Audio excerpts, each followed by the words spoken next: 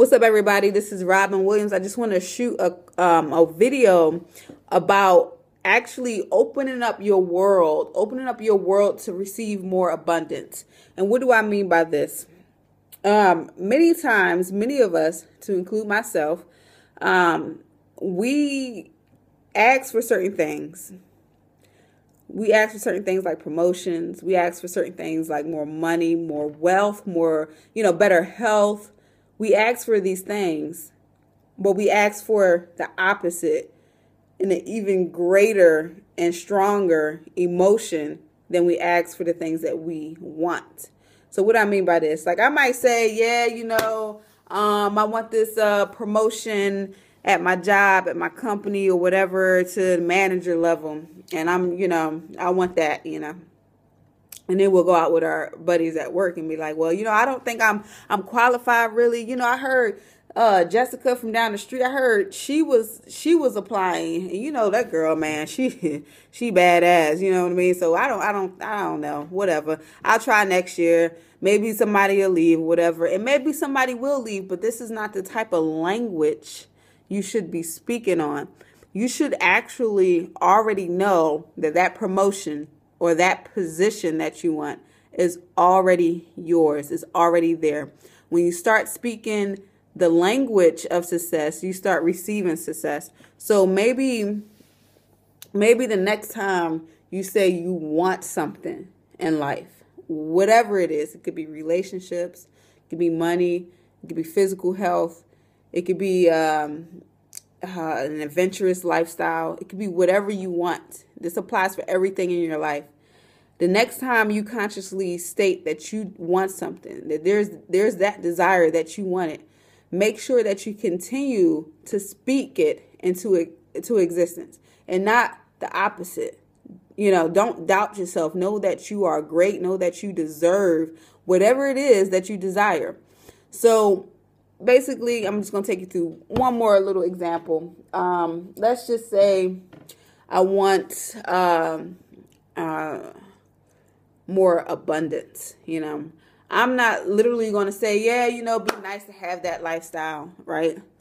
And then I'm going to tell my child or my wife or my husband or whoever you have in your life, um, you know those houses we were looking at last last week? Yeah, I I think they're too expensive. I really, really like them, but you know, I, I think I think it's above our, our pay, whatever, and it may be above your pay right then and there. But speaking it that way is not going to get you in that house. Knowing that you're already going to be in that house, knowing that that house is yours, speaking it into existence, starting to shop for the things inside your house, that's what's going to get you put inside your house if not put inside your house, maybe something even better. You know, you never know what can happen. You don't know the power of this universe because anything can happen. The the house could be offered for a lower price the following week. You know, you could be offered to to put down less of a down payment to get into the house. You don't know what can happen in the future if you just keep your eyes on what you desire and keep speaking the positivity um, on that thing that you desire.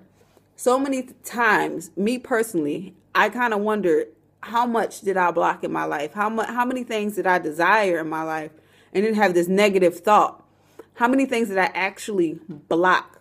Even when we bought our, our uh, first home, it was really weird because it seemed so magical. And this is how. This is why one of the reasons why I try to get people to actually practice it consciously.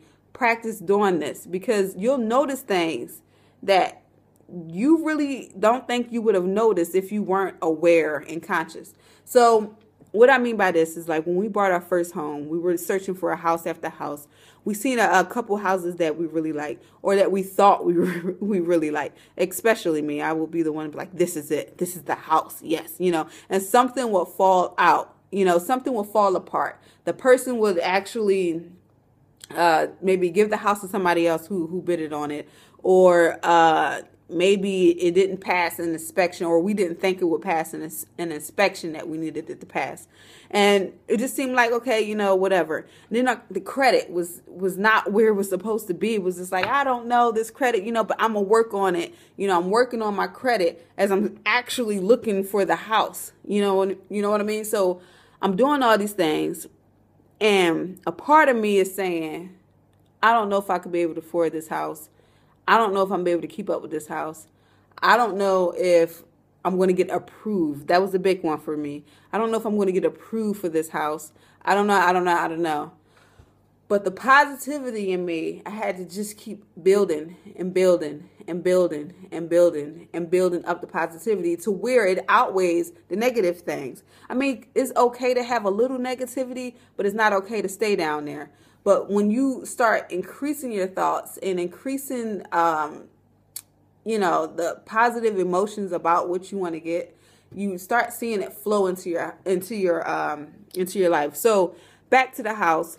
I'm going through the house. I talked to the, uh, I think it was like a mortgage broker or something. I'm not even sure who the heck it was that helped me uh, get the house.